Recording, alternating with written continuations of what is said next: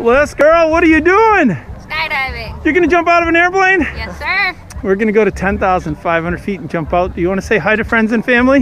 No. We're. No? You got this, right? Yeah. Let's go do it, girl.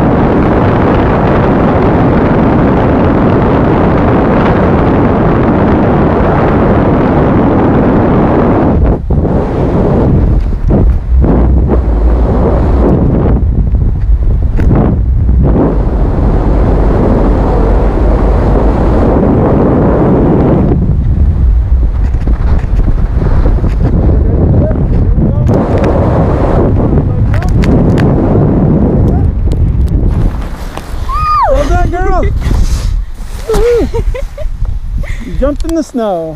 I did.